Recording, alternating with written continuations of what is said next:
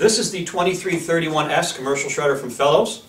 Uh, It's a heavy-duty office machine which is suitable for use in mid-sized to large offices uh, with 10 or more users.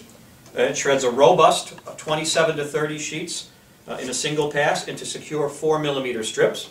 It's equipped with a continuous duty uh, motor which allows uh, non-stop shredding into the 32 gallon waste bin.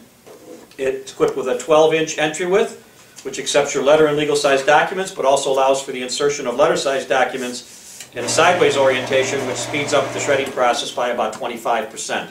The safety protection system prevents the insertion of anything other than paper into the machine and if that happens the machine will stop automatically.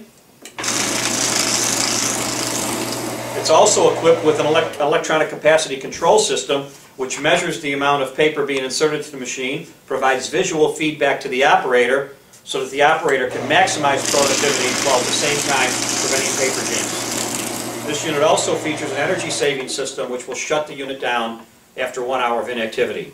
Again, this is the 2331S from Fellowes, the world's toughest shredders.